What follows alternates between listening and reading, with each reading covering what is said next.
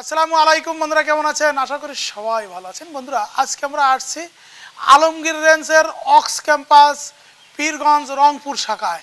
আমরা এইখানে তাদের প্রায় আট থেকে দশটি শেডে গরু লালন পালন করা হচ্ছে।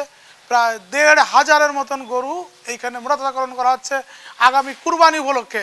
চলুন আমরা ঘুরে ঘুরে তাদের শেডগুলোতে যাই এবং গরুগুলো দেখি যে সামনের কুরবানিতে আমরা কেমন সুন্দর সুন্দর গরু পাবো। চলুন। আমার পিছনে দেখতে পাচ্ছেন বন্ধুরা, এই যে সুন্দর সুন্দর ষাড় গরুগুলো যে গরুগুলো আমাদের কুরবানির সময় সবার পছন্দ থাকে। সবার পছন্দ লাল রঙের চুটালা একটা সুন্দর গরু।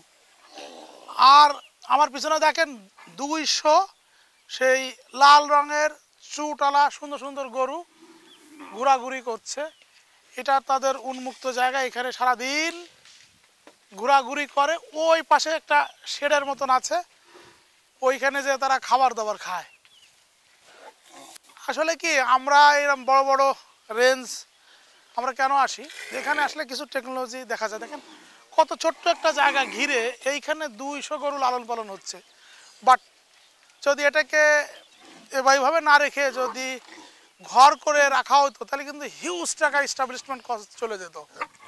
তা আমি বলব, যারা এরকম গরু খামার করতে চায়, এইটাকে একটা উদাহরণ হিসেবে নিতে পারবেন যে এরকম একটা জায়গায়, হয়তো কতটুকু জায়গা হবে? এক বিঘার মতো একটা জায়গায় দুইশো গরু লালন পালন করা হচ্ছে।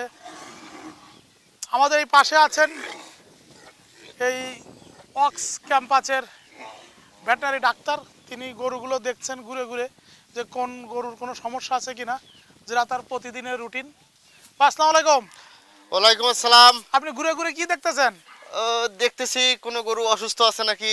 এদের শরীর স্বাস্থ্যের কি অবস্থা? তাই কি দেখলেন? আলহামদুলিল্লাহ গরু সুস্থ আছে। সব সুস্থ আছে? হ্যাঁ সুস্থ আছে। না সুস্থ তো আছে এই যে দেখলেই। এছাড়া আর কি দেখেন ঘুরে ঘুরে প্রতিদিন? প্রতিদিন ঘুরে ঘুরে দেখি যে কোনো গরু কোনো সমস্যা আছে কি না দেখা গেছে যে কোনো গরু দেখা গেছে মানে ওপেন শেডে থাকলে দেখা গেছে যে বেশিরভাগ গরু পায়ে ইনজুরি হয়। ইনজুর থাকে। হ্যাঁ পায়ে ইনজুরি হয়। কোনো গরু পায়ে কোনো ইনজুরি পাইছে নাকি সেটাও লক্ষ্য করা হয়। আবার ওই দেখা গেছে যে এরা একটা আরেকটার সঙ্গে ঘুতাঘুতি করে। অনেক সময় দেখা গেছে যে গায়ে কোনো ইনজুরি টিনজুরি হয় এ লক্ষ্য করা হয়। আর কোনো জ্বর বা কোনো সর্দি আছে কি না এটাও লক্ষ্য করা হয় সাধারণত। মেন কথা হচ্ছে ডিজিজ আইডেন্টিফিকেশনের জন্য এদেরকে প্রতিদিন ঘুরে ঘুরে দেখা হয়। এখানে কি কি জাতের গরু আছে? এখানে শাহিওয়াল আছে পাকড়া আছে গির আছে শাহিওয়াল এখানে। সাইওয়াল তাই না। সাইওয়ালের বাছুর।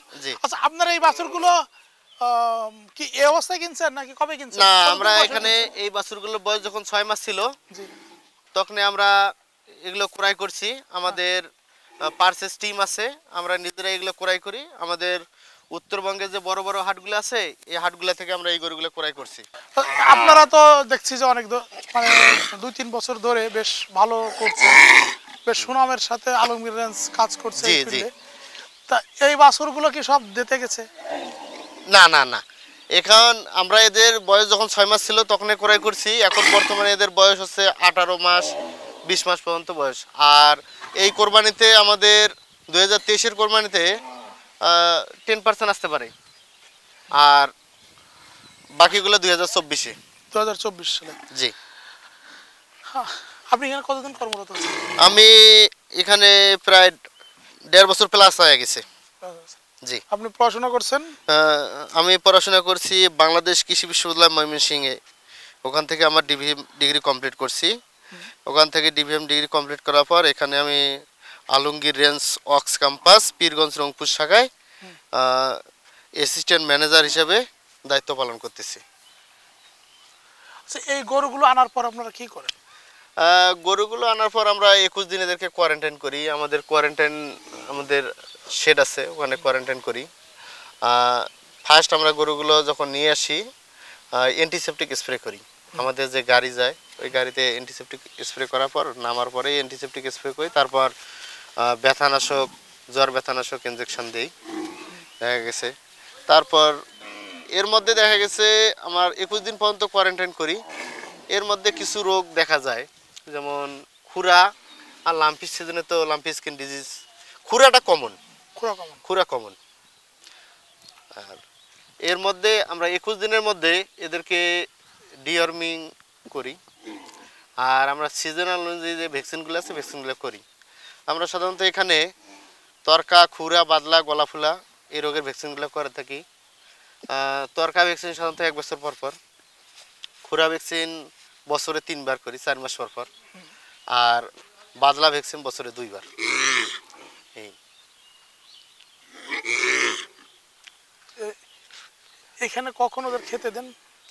এদেরকে দুই বেলা খাবার দেই একটা হচ্ছে আমাদের সকাল আটটা থেকে সাড়ে আটটার মধ্যে। হ্যাঁ। আটটা থেকে সাড়ে আটটার মধ্যে আর আমরা বিকাল চারটে থেকে সাড়ে চারটের মধ্যে খাবারটা দিই। তা কি খাবার দেন হ্যাঁ জি। এদেরকে আমরা সাধারণত ওই যে আমাদের নিজস্ব জমি থেকে সবুজ ঘাস উৎপাদন করে থাকি। এই ঘাস খড় সাইলেজ আমাদের সাইলেজ তৈরি প্র- প্রকল্প চালু আছে দুইটা। ওখান থেকে আমরা সাইলেজ তৈরি করে থাকি। আর দানাদার একসঙ্গে মিক্স করে টিএমআর আকারে খাওয়াই। টিএমআর বলতে হচ্ছে টোটাল মিক্সটেশন যেটাকে বলা হয়। জি। এই যে বাছুরগুলো আছে এদের মানে খাবার রেশিওটা কেমন? এদের খাবার রেশিওটা হচ্ছে বডি ওয়েট অনুযায়ী ড্রাই মেটের বেসিসে আমরা খাবারটা দিই দেখা গেছে যে আমাদের এমনিতে বলে যে বডি ওয়েটের এক পার্সেন্ট ধরি করি খাবার দেই। কিন্তু আমাদের মেন কথা হচ্ছে আমাদের এ ড্রাই ম্যাটারটা যেটা লাগে সেই অনুযায়ী খাবারটা দিই। ড্রাইভারটা কেমন লাগে? ধরেন এটার ওজন যদি হয় আড়াইশো কেজি তাহলে কেমন ড্রাইভারটা এতে এর ওজন যদি আড়াইশো কেজি লাগে তাহলে আমাদের স্টেজ আছে তিনটা।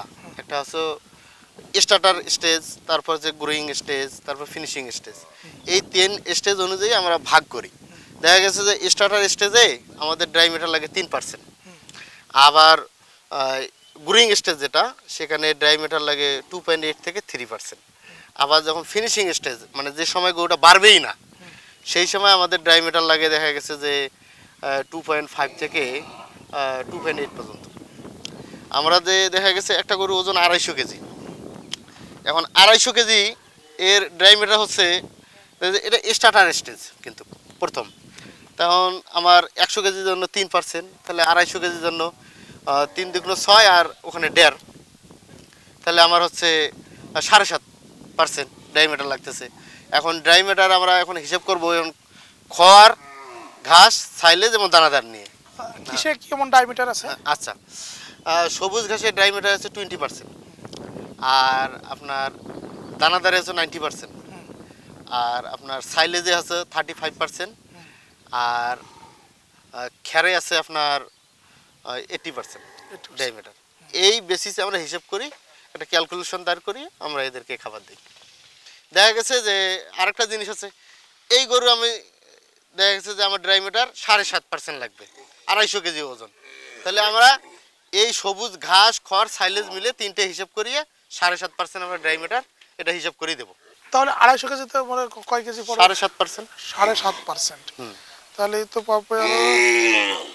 দানাদার কতটুকু দিবেন? সাইলেজ কতটুকু? ঘাস কতটুকু? তো? এটা দেখা গেছে যে আমার যখন প্রথম স্টেজ দেখা গেছে যে আমার এর যদি আমি আড়াইশো কেজি একটি গরু ধরি। আড়াইশো কেজি আমি যদি হিসাব করি যদি আড়াইশো কেজি গরুরে আমি এরে যদি ঘাস দেই পনেরো কেজি। তাহলে পনেরো কেজি আমার ড্রাইমিটার হিসেব করতে হবে। কত কত আছে? ওটা ঘাস খাবে পনেরো কেজি আর খড় খাবে ধরে যে আড়াইশো কেজির জন্য এক কেজি পর্যন্ত খের খাবে। আর দানাদার খাবে আপনার দেড় কেজি দুই কেজির মতো খাবে। দুই কেজির মতো। তাহলে আমার ড্রাইমিটার কিন্তু কমপ্লিট হয়ে যাবে। ঘাস পনেরো থেকে ষোলো কেজি খাবে।